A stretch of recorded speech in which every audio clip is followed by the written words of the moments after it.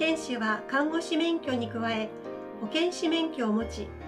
保健指導や検診などを通して地域の皆さんの健康を守るために働いています。仕事のフィールドは保健所や県市区町村病院企業学校などです。それでは神奈川県庁で働く保健師をクローズアップ。神奈川県庁の保健師は保健所や本庁、児童相談所などで母子保健や生活習慣病、難病などの対策を行っています。ここではこれまでの新型コロナウイルス対策の中で重要な役割を果たしてきた保健所の保健師の仕事を追ってみましょう。新型コロナとの戦いの始まり。2020年1月国内初の感染者が県内で発生し日を追うごとに増加していきました保健所では発生届の受理から積極的疫学調査。受診調整や入院調整。患者さんとその接触者の健康観察。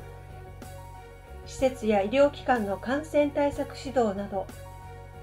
さまざまな対応が必要になりました。受診調整と健康観察。当時コロナ患者の外来は一部の医療機関しかなかったので受け入れ医療機関の拡大に向けて医師会の協力を得ながら地域の体制に働きかけていきました。同時に保健師たちは急増する患者対応を行う必要がありました。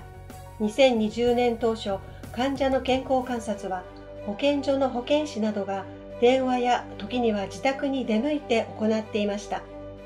夜中まで対応に追われる日々が続きます。お一人お一人症状が違うようにご本人やそのご家族が置かれている状況も様々でした。少しでも安心して療養できるように不安な思いに寄り添いながら療養環境の調整にも当たってきました。積極的疫学調査とコロナの封じ込め一つのコミュニティから患者が発生すると、その家族に感染、その家族の職場や学校、趣味の仲間など、地域へ感染が広がっていきます。感染拡大をどう食い止めるか、保健所の役割はとても重要でした。保健所の医師や保健師は、国の専門機関の助言を受けながら、現場に出向き、綿密な調査や検査、感染対策指導を行い、地域への感染拡大を防いでいきました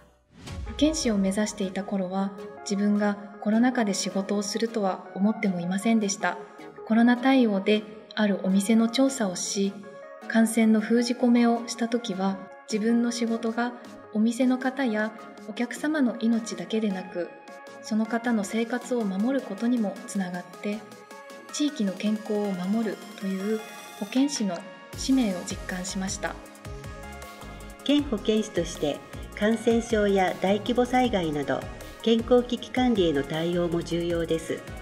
第1波から第8波までさまざまな波が押し寄せる中日頃の経験や関係性を生かし力を合わせて乗り越えてきました。この経験を踏まえ住民に寄り添い健康を支える保健師活動をこれからも実践してまいります。